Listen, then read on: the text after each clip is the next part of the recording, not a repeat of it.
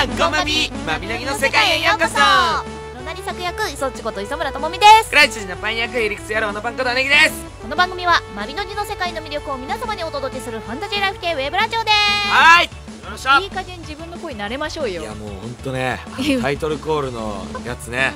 気持ちが悪い。自分のパンの声が？気持ちが悪い。いやでも私好きだけどな。本当ですか？なんだろうね自分だとやっぱ自分の声気持ち悪いと感じる時ってあるじゃん。ありますね。なんかなんでこんな言い方しちゃったんだろうみたいなことを人に言うといやいやそんな気にならなかったよみたいなことを言われたりとかするその感覚ね。その感覚です、うん。そうなんですよ。なんかねなんていうんですか。なんかパンだと思って聞くと、まあまあ多少その許されるストライクゾーンがあると思うんですけど、ふとした時にパンの映像なしに こいつの声を聞いちゃうとなんか気持ち悪いおっさんだなって思っちゃうパンニャン気持ち悪いおっさんを想像するからじゃない？気持ち悪いおっさんゃダメだのよ。絵を想像した上でその声が聞こえてるんですよそれはさ何でもそうじゃない。それは何？でもそうだよ。確かにね、まあ、気持ち悪いおっさんが喋ってると思うとそうかもしれないですね。もうその気持ち悪いおっさんの風貌を聞きたいけど詳しく。い。やでもね。それよりもねね。大切なことがあるからそちらの方行きましょうよ大切なこと はねい。忍者アップデート記念イベント実施中ですよ。おいこれはですね指定された忍術スキルを A ランクまで育てると報酬がもらえる忍術をあ違う違う違う違う違ううん違う違う違う違う違う違う違う。そうなんです。さっきなのでね、うんと思ったんですよ、ね。そうそうそうそうなんですよ。指定された忍術スキルを A ランクまで育てると報酬がもらえる忍術を学べイベントがね開催中なんですよねそういうことなんですよね。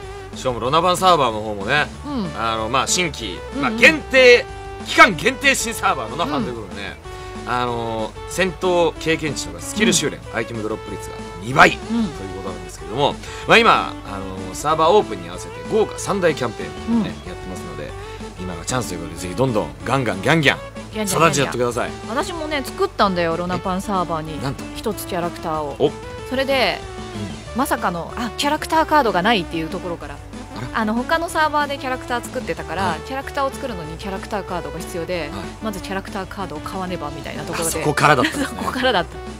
僕もさっきね、うん。ちょっとあのまあ自分であのさっきパソコンを借りしてプレイした時に、あのロナパンサーバーの方にもうん。うんうんあのクツコなんかて転生じゃないなんだ。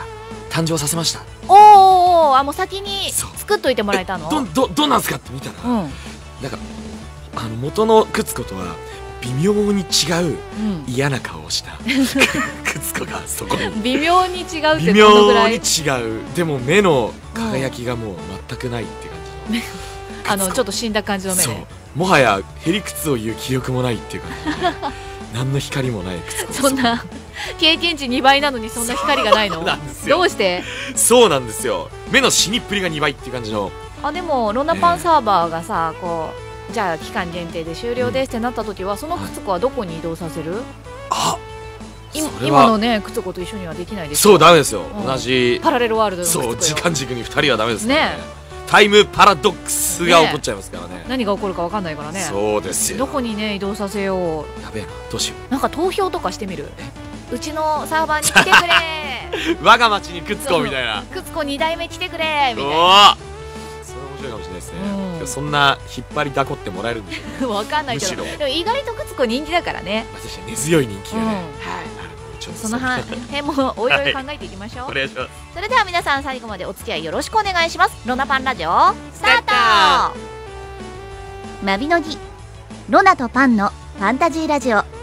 この番組はネクソンの提供でお送りします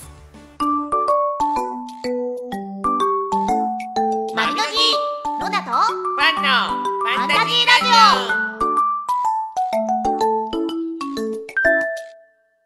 ジ NPC プレイシアター。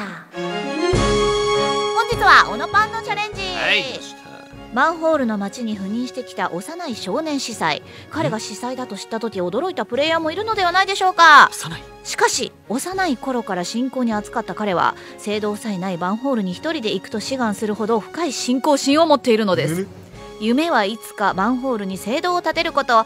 そんな NPC カムガンのセリフをどうぞ。マンホールに聖堂を建てたいです。少しだけお手伝い願えませんでしょうか？途中でもセリフの途中で私喋っちゃったじゃん。そうですよ。芝居中ですからねこれ。ちょシアターですからお静かに。本当にもうマナーがなってないなそっちはもう。もう多くの杉田さんも賛同してくれてるけど今。どうしたの？もうせっかく。ええ。あショタオのパン。ショタオのパン 初ねって思って。ショタバン違う違うあのほらワクワクしてたんだよ。違いますって。ほら何？こんな幼いからってうん。声が可愛いと限らないいや可愛いだろうよこのいやいや顔なんだから。顔は可愛くても声はこんな感じい。やいや違うって。絶対絶対向こうだって向こうだってないわって思ってる。同じボタンを何回も連射してるってですよちょっと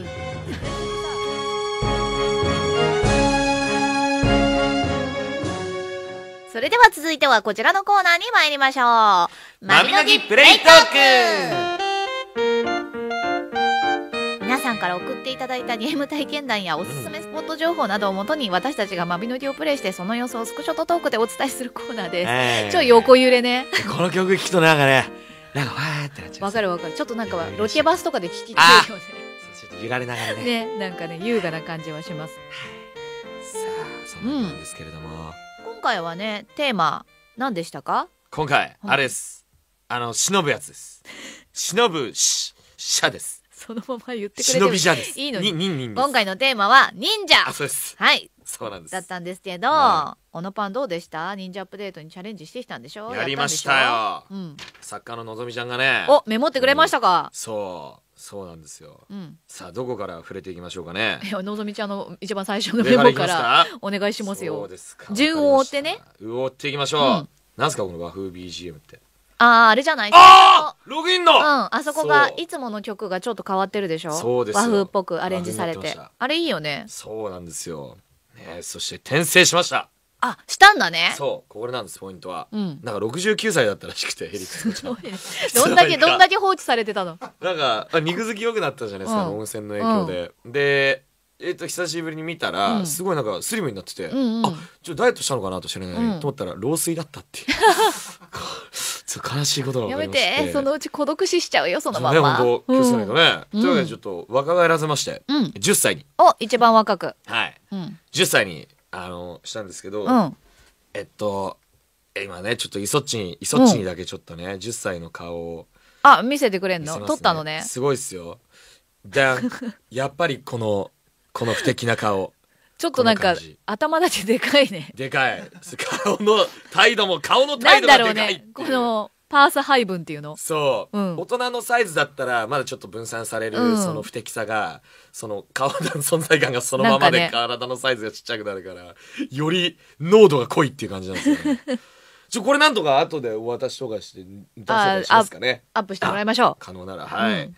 さあそのわけで10歳になっちゃったんですよね、うん。くつこちゃんがねそしてそして？あそんであのい何でしたっけ？忍者のあのーなんだ？練習みたいなのの、うんうん。ムービーみたいなのを見せていたうんうんうんうんだいてイソッチがなんか解説してて。そうそうそう。あれがね大変だったんですよ。大変だったんですか？うん。なんかねあれ意外とすごい少ないところでペペペって入れなきゃいけなくて巻かないといけない。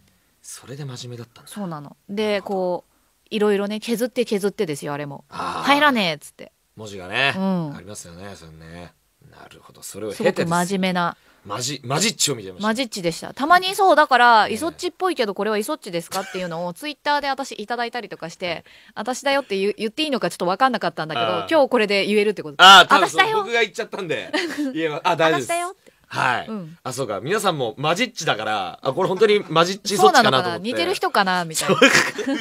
そ れぐらいなかなかレアなマジトーンだったわけですね。ね。なるほど、うんそしてまた農場でイチゴができていると。おまた？撮ってなかったねそういえば。そういうことです。撮ってなかった。もう何度でも教えてくれるんでね、そしてまあ転生した影響であの今あのーずっとねくつこちゃんあの背負ってたじゃないですか。まな板みたいな、うんあれがなんかどっか行っちゃってちょっとあわあわしましたけどね。入ってたまたはいしわせました、うんうん。ミニサイズになってましたね。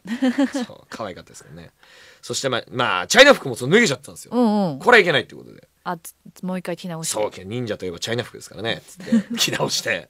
またそれもサイズちっちゃくなっててね。何を目指してる忍者なのかよくわからないけど、ええ全くわからないですけどね、うん。でそう手裏剣買ったんですけど、うん。あのネクソンネクソンズの方が、うん。そこは操作してくださってて、うん。あてかもうなんか有無を言わさず買ってらっしゃったんですよ、うん。僕それ脇で見てて「おおここで買うんですね」みたいな。言ってたら「1万円です」みたいな。うん「えーくつつ子お金大丈夫だった？ねえ1万って！と思って、うんえー、今までだってなんかね空き瓶買うのになんかね 100, 100だか200だかチョコレートとかでね、うん。あわあわしたのにいきなり1万円ドーンって買っちゃっておいおいって思って。お金あるのかな？大丈夫なんだね？どうねえ。えってなって。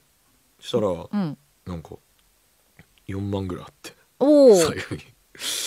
えそれ自力で稼いだもう記やつな憶にのございませんけど。それともあのネクソンズさんが気を利かせて。どうだったのかこの辺りああ稼いでた本あ当に稼いでた稼いでた。あじゃあレオニャンとかもうん。いろいろなんかね、ね頑張ってくれてたからね。バイトしてたもん確かあにそれでいつの間にか溜まってたんだ。なんか置き引き説があったんですけどね。おきびきそうなんか移動してたらなんかアイテム落ちててその人が寝てる横にアイテム落ちてたからこれ拾えないいんじゃないですかっつったら。拾えないんだよねそう拾えない拾えない拾えない。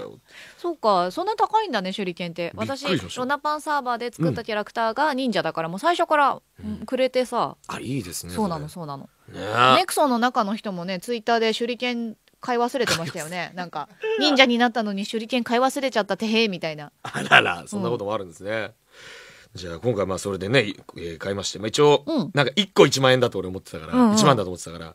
あ投げるの1個投げると1万円かかるの？そうやべえってそれと思ったんですけど。まあ一回買っちゃえば無限に何度もね、うんうんうん。使えるってことで。はいよかったと。ということでしたと。でいざうん。修行の旅へということでね、うんあのなんか小麦畑をああ荒らしてるやつがいると。であのそのなんていうんですかイメージ映像みうんたいな、うんうんイラストを見たら、うん。なんかすごい あのーのどかな、うん。あのー小麦畑に、うん。なんか忍者が超暴れてるっていう、うん。すげえシュールな。黒ずきんみたいなやつ。そうシュールな絵でちょっと怖かったですね、うん。でそれでまあ、えー、と見たことで完了してで次は聖堂に行ってね、うん。そしたらなんかあのあんずちゃんが、うん。なんか鶏をに逃げられてると見てみたいな、うん。うんうんそんな感じでどんどんと進めていってね、うんうんでなんか戦闘修練みたいなのやりまして、うんうん。バンバンと倒して。はい。バンバン倒してたかな。倒してましてバンバンね言ってましたけれどもね。ちょっとはい。あれだったじゃん、え？あのこの技使いたいからええ。貯めますわっつってしばしご勘談くださいみたいな時間が。そうなんか1分間使えない技とかあって。55分秒ぐらいじゃないでしょ？そう、うん。そそれを待ってましたね。でも途中で待たなくていいんですよって言われて あじゃあもう待たないっすっても。う本当だよ。普通に肉弾戦でね戦いましたけどね。あのちょっと戻るけど、ええ。あんずがさあのうん。鶏の卵取ってるあたりとかは、うん。マビドラとかのねリンクもあるっていうことなのでちょっとね、うん。聞いてない人はそのあたりも聞いてぜひ。ゲームとああこうやって重なってんだなみたいなところを楽しんでいただければとね思いますよ。ねその後も楽しんでほしいですね、はい。そんなこんなを経て闇討ちとかをね覚えまして。闇討ち？そあああれか。あの消えて風がビューってやつう、ね。そう。あれいいですね。だからあれがちょっとためが長かったんですよね、うんうんうんうんそう1分間待つみたいな。ありましたけどでも楽しかったんであの技どんどん使っていきたいですね。以上ですか、はい。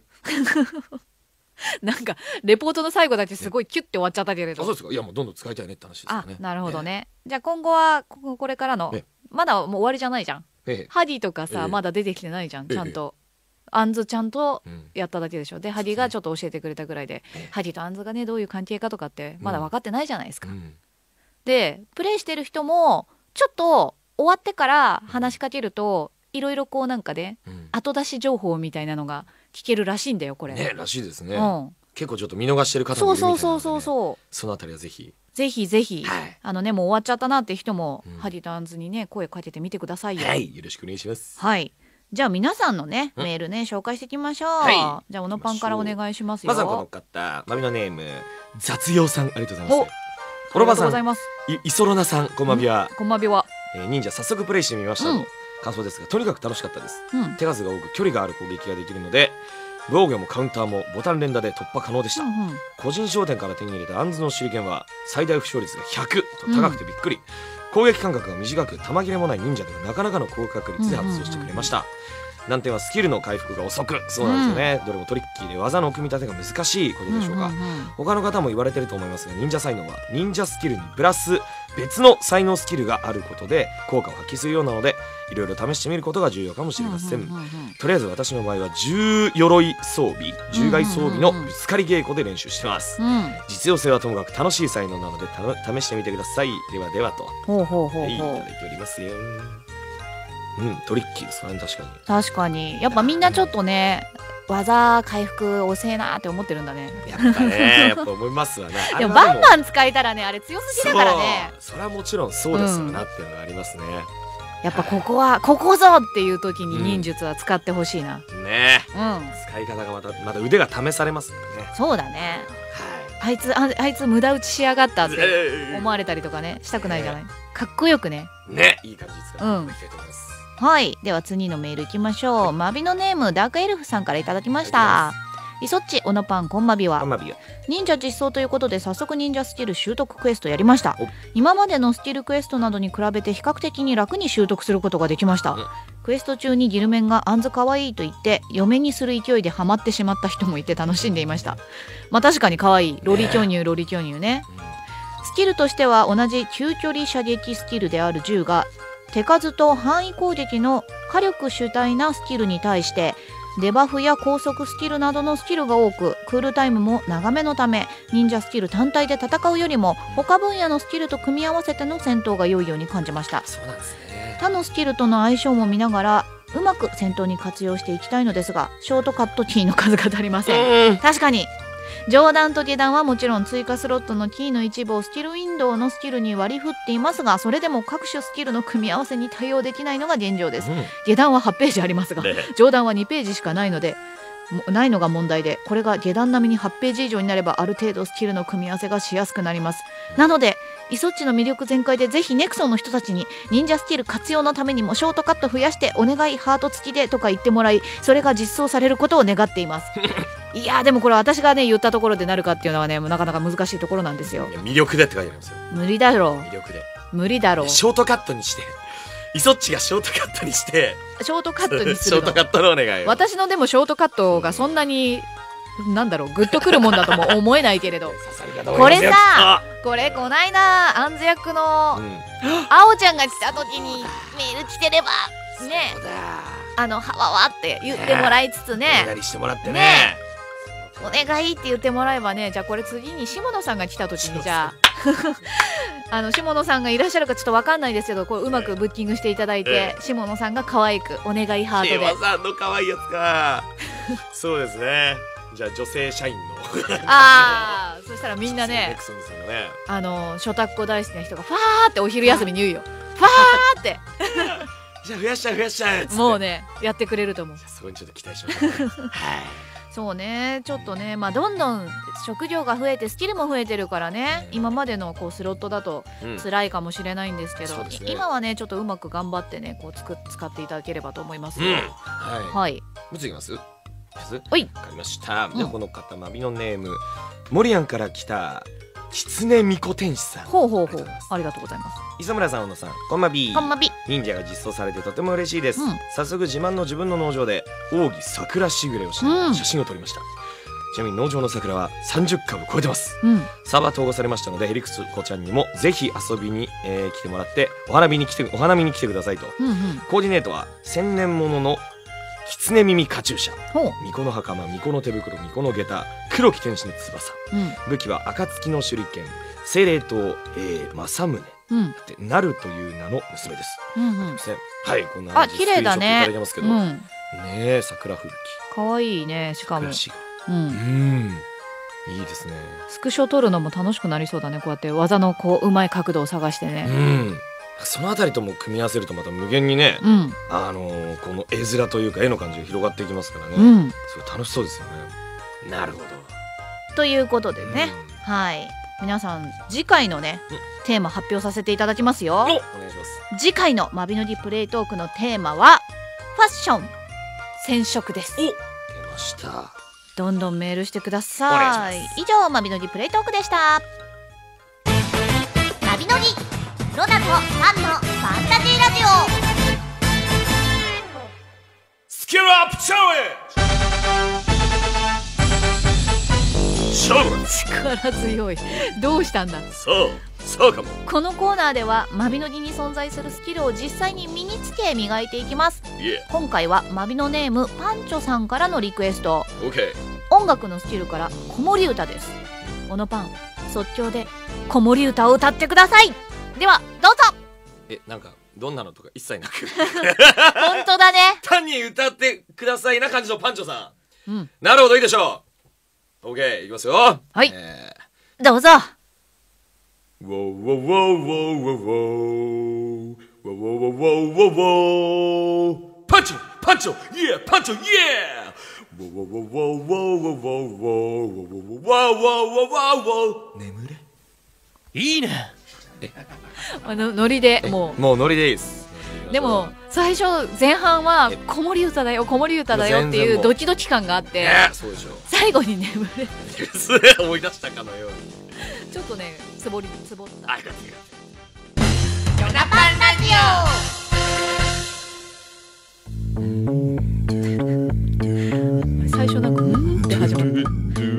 を聞いてくれている皆さんからのお便りを紹介するマビノギ通信のコーナーです。はい。メールを採用させていただいた皆さんにはマビノギ内で使用できる番組オリジナルタイトルをプレゼントしちゃいますのでどんどんメールを送ってください。では早速なんで今日そんなに？息切れが早かったんです。早かったね。おかしいね。ちょっと疲れてんのかな？早速皆さんからのお便り紹介していきましょう。じゃあ小野パンから。大丈夫大丈夫。マビノネームよしおありがとうございます。ありがとうございます。オラバイザッチこんばんびこんばんび75回目にはアンズ役の結城葵さんがゲストとして登場してくれましたね、いろいろな発言をされておりましたのである意味面白くて、えー 楽しく聞あある意味ね。ある意味って何、ね楽しく聞かせていただきましたと、結城さんが下ネタ全開というような感じでうん。発言をぶっ込んでましたね。うん。イソッチもそのノリに乗って乳首や乳輪など発言して おそうだっけ？あ下野さんが見に来て。あでおっぱい揉ませろみたいになそれか。そうそうそうあ書いてありますね下さんもブースの外にいたようなのでいつかラジオに呼んでほしいですよと、そううん。ちなみに聞きたいんですがと、うん。忍者アップデートの記念の、えーボイスドラマのマビドラ特別版は、えー期間限定と書いてあるんですが忍者の実装イベントが終了したら忍者のマビドラ配信は終了して聞けなくなってしまうのでしょうか。えー、教えてくださいと。ネクモトさん。猫本さん。これはですね後のあのー、猫本さんコーナーでね実は発表されますんで。えねえその時にええ。えあのー、ね聞いてください。ちょっと衝撃な悲しいお知らせえが。あららもうねどうなんでしょうね。あのお楽しみに。は心して待て。い待て、ね、おい。では次のメールいきましょう。ます。マビのネーム BR さんからいただきました。ありがとうございます。いそっちおのパンこんまびあまびマビドラ聞きました、下野さんのハゲもかっこよかったですがあおちゃんのアンズが最高でした、うん。あの頭のちょっと弱い感じがすごく可愛かったです。この忍者のエピソードだけではなくこれからもずっとアンズが出てほしいです。これからも応援しています。下野さんがゲストに来てくれるのも楽しみに待ってます。っていうねやっぱそうだよそうねです。流れがありますからね。でも分かってしまったことがあるんだよ。何ですか？あのえ毎週っていうかさこの時間に撮ると下野さんはあのスタジオで別 別のことをしてるってことが分かってしまったんだよ。そうですね。確かにそうですね。逆算するとそういうこ逆とです算するとそういうことなんだよ。でもほらなんかねその忍者のなんかね、ええ。盛り上がりのそう中にねやっぱりね。ねここぞっていう時に来ていただきたいそうその通りです。感じはあるけれど。ちょっと引き続き、え探っていただいて ガラススのケジュールをね、ええ探り探りしていただいて、あじゃあもう一つ。はい。紹介してください、この方マビのネーム褐色肌大好きさんありがとうございます。あ私も私も。あらまあうん。オロバイサッチこんまびはこんばびマビドラとても楽しかったです、うん。個人的には結城さんの演じるアンズが好みなので。みんなあんずにモデルだな、またたくさん出てくるといいなと思っています、うん。ところでマビノギは9年以上続いているゲームなだけあって、うん。NPC がたくさんいますが、うん。2人が気になった NPC や美味しそうなカップリングなんかありますか？よかったら教えてくださいまた結城さんがゲストに来てくれるのを待ってます。本当大好きですね、うん。結城さん。いやいやカップリング。美味しそうな。美味しそうなカップリング。まあでもハギとアンズも一応カップリングになんのかな。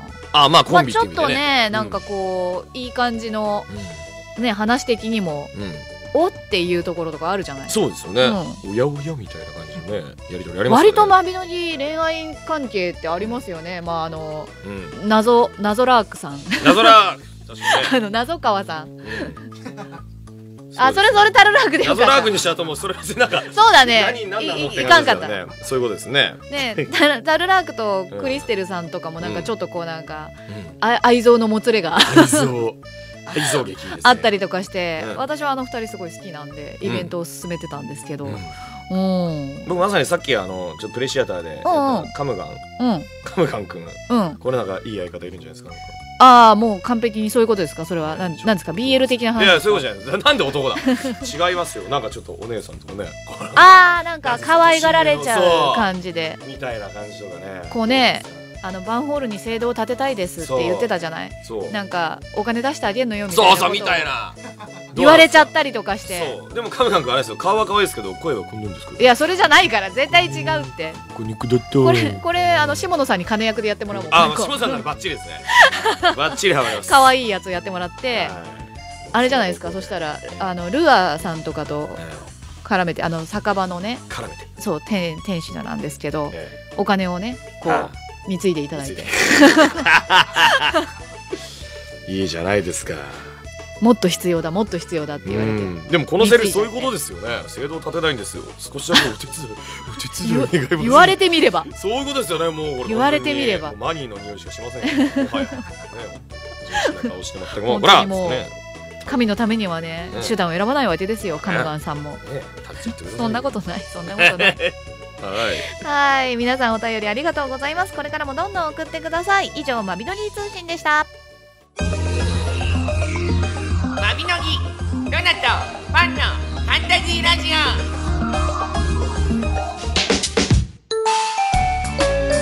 さあここでマビノギからのお知らせでございますが。おっと好調ですね哲也さんさあこの声が聞こえてきたということは中本さんかも。よろしくお願いいたします。お願いしまお願いしますほどメールでもいただいてましたがえーどうなんですかマミドラ。そうですね。ちょっと今回は非常に特別編で期間限定のほ。公開になっているのですが、まあ、ちょっと改めて説明させていただきますと、はい。まあ、下野紘さんが萩役、はい。結城葵さんがアンズ役、そしはい。てロナとパンが出ているうん。マビドラエピソード忍者ですが、こちらは期間限定の公開になっておりますと。はい。で、まあ、今回前編後編2本立てで、まあ、2話分もうすでに公開していまして、まあ、ゲームとも連動している、まあ、忍者のゲームとやりながら聞きながらっていう感じになってるんですが、こちらはですね、8月28日木曜日までと、なんですって。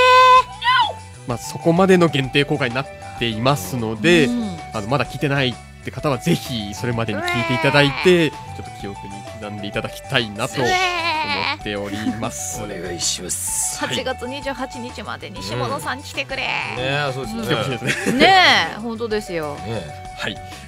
続きましてですね、5月29日にサーバー統合が行われたと思うんですが、えっとこちらの方で、えっとまあ、同じ名前のキャラクターの場合、うんうんうん。後ろにちょっとこうサーバーのあの頭文字がついてるっていうような状態になっていたと思うんですが、はい。こちらの名前変更の受付を現在実施しております。うんうん。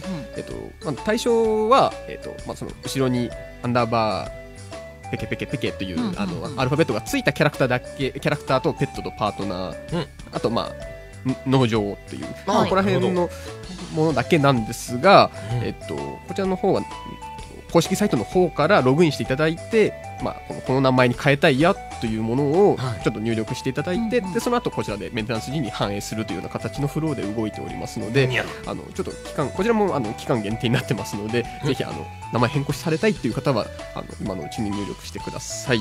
でこれあのちょっと現時点だとまだキャラクター名の変更なんですけども、またまたちょっと期間を置いてその後ペットやパートナーそこら辺のものもあの受付を追加公開しますので。おいって感じですね。はい。なるほちょっとこちらの方はあの公式サイトのお知らせの方を、えー、とぜひ見ておいてくださいということになります。ありがとうございました。以上マビノリからのお知らせでした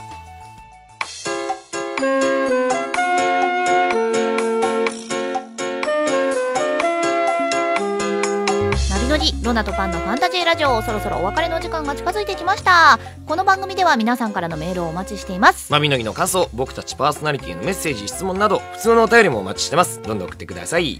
メールを読まれた方にはマビノギのゲームで使用できる番組オリジナルタイトルロナパンラジオリスナーをプレゼントします。欲しい方はメールアドレスも忘れずにお願いします。ゲットした方はゲーム内でもバンバン使って広めちゃってくださいよろしくお願いします。いやいやアンズの人気がねうん。ドカーンですよ。今回バコーンですよ。多かったですね、うん。なもちろんあのしもさんも素敵、だけどうん。